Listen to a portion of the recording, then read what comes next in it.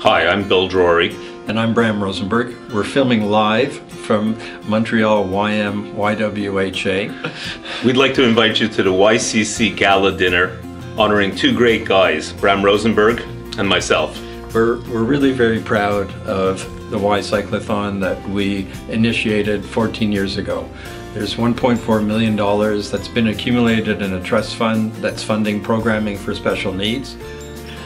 Proceeds from this event are going to fund enhancements to the YCC Special Needs Family Camp. This unique facility really can use the extra funding to make it even greater than it is.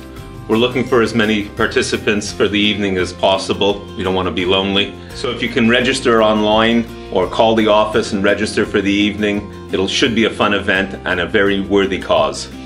And please share this so we can get this message out to as many people as we can. There's not much time left. Thank you very much and hope to see you on the 31st. Looking forward to seeing you all there.